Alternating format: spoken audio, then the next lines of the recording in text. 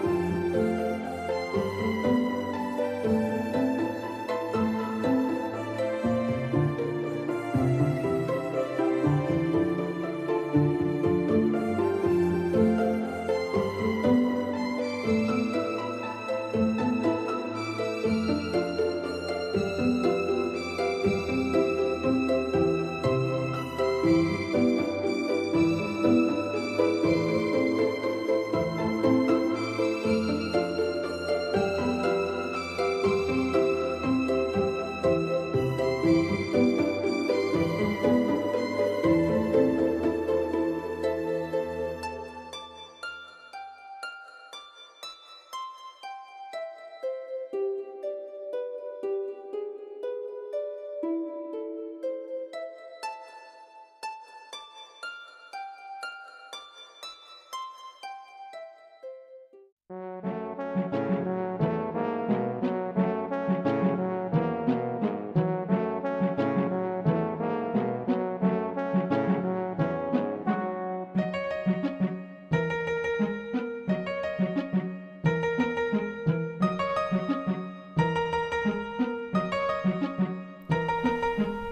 のスマートフォンは Android なのであらかじめ Android Auto をインストールしています。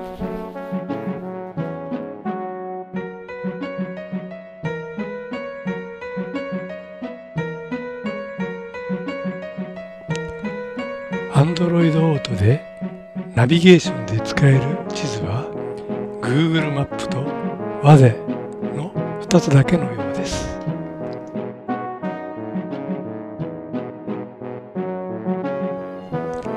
目的地の設定は音声入力が便利なようです。ジョイフルホンダ。ジョイフルホンダの検索結果を表示しています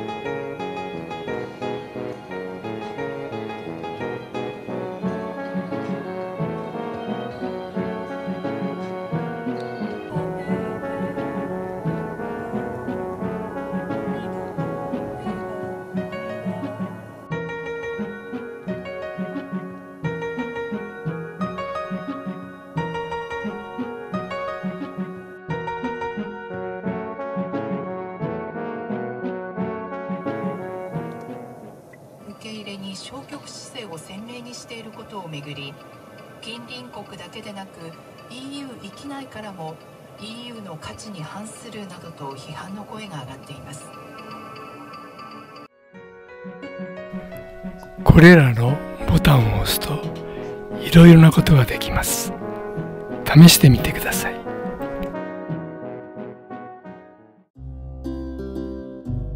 USB 端子からスマートフォンを抜いて USB メモリーを入力すると音楽が聴け動画が見られます。USB メモリーは2つまで認識できるので USB ハブを使いメモリーの一つを音楽もう一つを動画と分けて使っています。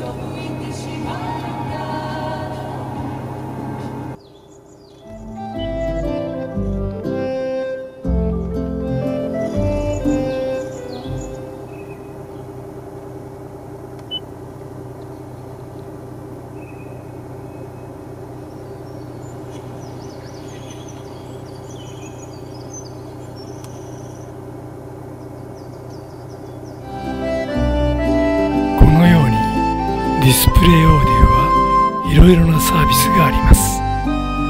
工夫すれば自分なりにいろいろな楽しみ方